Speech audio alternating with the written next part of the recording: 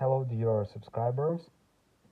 Today I will tell you how you can easily install Instagram app on your macOS. So for doing this you just need To install first Google Chrome. so after just open it Now just go to the settings. In the settings you need to find here just tap on the settings. So here you need to choose extensions and here you need to tap on the left side.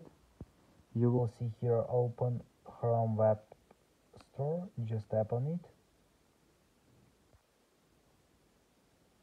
And now you just need to write in search tab Instagram. So now just tap on desktop for Instagram and just choose add to Chrome. Just tap on add extension.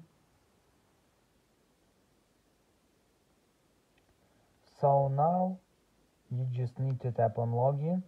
Just write here your credits to your account and after you will be able for using Instagram like Instagram app on your macOS. Just uh, choosing here on your extension. On the right side you will see your extension. Extensions and here you will see it. So thanks for watching, have a nice day, subscribe to my channel, click like. And goodbye.